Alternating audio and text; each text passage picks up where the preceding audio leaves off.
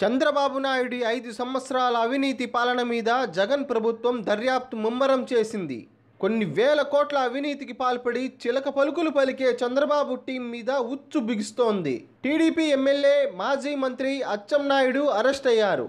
ESI కుంభకోణంలో ACB అధికారులు ఆయన్ను అదుపులోకి తీసుకున్నట్లు తెలుస్తోంది. శ్రీకాకుళం జిల్లా నిమ్మాడలోని ఆయన ఇంట్లో అరెస్ట్ చేసి సోదాలు కూడా నిర్వహించారు.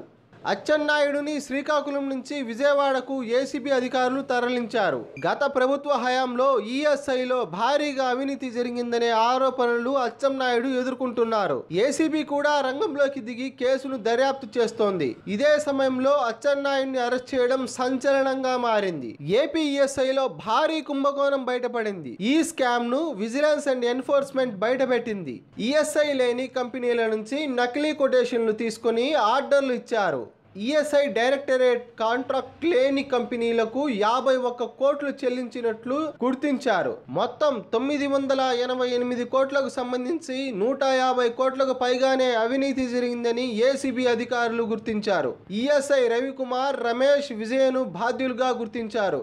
ఈ కుంభకోణానికి సంబంధించి మాజీ మంత్రి అచ్చెన్నాయుడు పాత్ర ఉందని రిపోర్టులో వెల్లడించినట్లు తెలుస్తోంది.